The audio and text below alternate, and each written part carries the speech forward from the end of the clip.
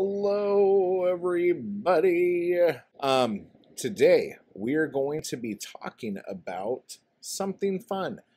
Earlier, earlier today, I did a video um, with Shawn over on his channel called, um, I guess, Desert Island Books is what we called it, or what he called it. He has a series, and he's done this with a bunch of people on BookTube and stuff.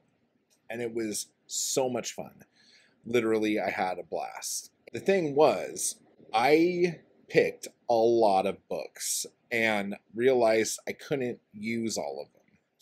So I thought what I would do is now take this time to go over the honorable mentions.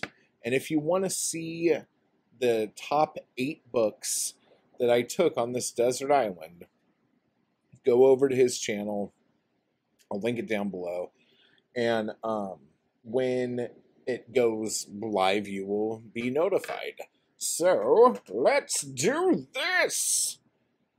Okay, so I have a big stack of books here.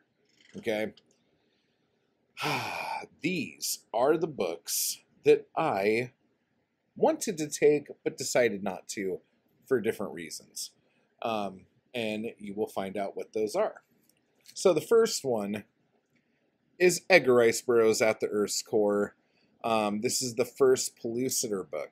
The reason why I didn't want to take this at the end of the day was because this is going to sound funny, but this wasn't my eight or this is my ace edition, but it wasn't my other edition. Long story short, I couldn't find the one with the Frazetta art on the cover. And the whole reason why I would have wanted to take this, A, it's a fun story of a guy in a strange new place having an adventure, but also there is a beautiful woman on the cover that would have been handy um, on a desert island.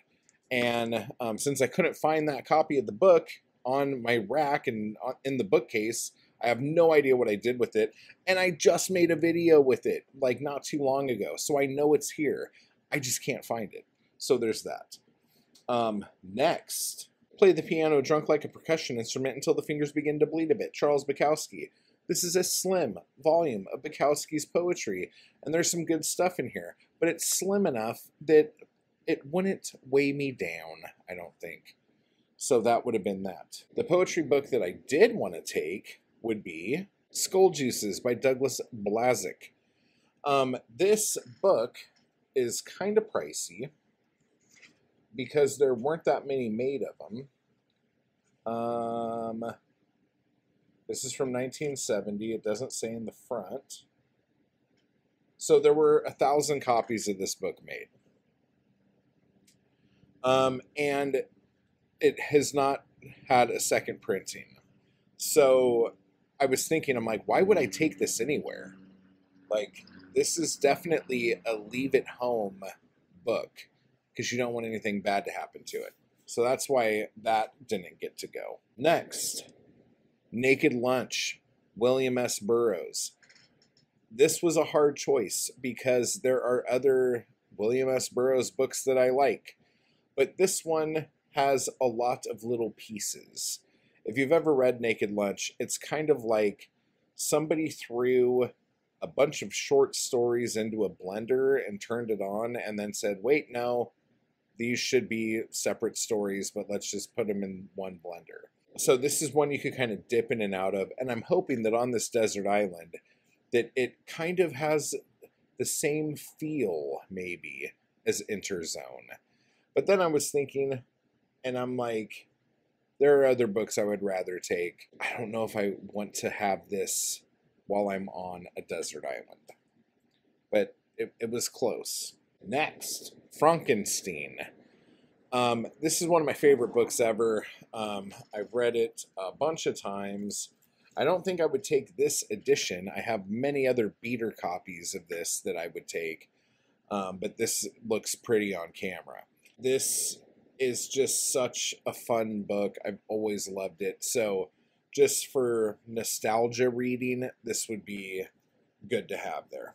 Now, I also wanted to take some stuff that was very absurd because the idea of me being on a desert island would be absurd. And so I wanted to take something from Kafka. And my favorite Kafka book is The Trial. But I thought that this might be a little too heavy on society. And since I'm being ostracized from society, having to live on a desert island, um, I thought this was a little heavy. So um, that did not get picked. Now, because Bukowski is so conversational in his writing, having some Bukowski there would feel like someone else was there with me, like I was having conversations. And having the poetry there is good. Um, but I thought also some of his kind of ramblings or stories would be fun. And so I picked Notes of a Dirty Old Man. Um, this is a very funny book, and I think I would need some laughter in a situation if I was stranded on a desert island. But I found better books to take than this. But this was almost, almost there. Oh man, and I just remembered another one. Is it right here? So I'm back. Um, I found the book that I wanted to take, which is this, The Stranger by Albert Camus. And you've heard me talk about this. And the only reason why, because I, I really feel like the character in this book, I would feel a lot like feeling like everything is absurd. I'm in a situation that is absurd things have happened around me, and this is now my plight. But I don't like how this book ends. I don't like how he kind of, in my view, gave up. So that doesn't get picked. And while I was looking for that, I found At the Earth's Core with the Frazetta painting. All right. So now I might have to change all my shit. Okay, so more books that I was gonna take. Notes from Underground. Again, this goes right back to Kafka and Camus. Um, I feel kind of a kinship with these books here. But again, I think there are better books that elicit the same feeling especially if I'm on a desert island. So that's why this one stays home. Hunger, same thing.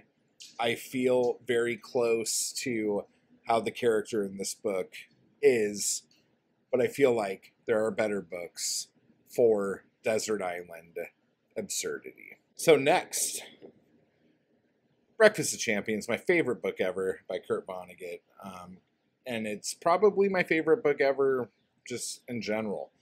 Um, I thought this would be a great one to take, but then I realized I think there's a better Vonnegut book for being stranded on a desert island. So this one too stays home. And finally, Raymond Chandler, The Lady in the Lake. I originally was going to take my big book of pulps, my big book of black uh, mask tales or whatever, um, I was going to take my big Conan um, comic strip book. I was going to take my Batman omnibuses and all this stuff. And then I was thinking, I'm like, God, those books are so freaking heavy. Why the hell would I do that? I don't want to do that. So then I'm like, okay, but I would like to have some like hard boiled stuff to look at, right? and I was thinking about it, and the more I thought about it, I'm like, you know what? On a desert island, I don't think I would want any hard boiled detective stuff. So, as much as I love this book, think it's going to stay home. And hopefully, this precarious stack of books does not fall down. So, I think that's it. Um, the only other one I could think of would be, um, and it's up there. I'm not going to go grab it, but um, Teatro Grotesco from Thomas Ligotti. Um, probably that that would be a an almost book there. Um, yeah. So those are my books that almost made it. So these books might have been on the ship, but went down with the ship. Um, although Skull Juice's book, there's no way I would let that fucking sink to the bottom of the ocean. So let's just say these are the books that I forgot to pack. Watch for Shawn's video. It will be coming within, I don't know, a month or something like that. Maybe sooner, maybe later. I don't know. But when that video comes up, you will see it. So until next time, bye bye. And don't get trapped on a desert island.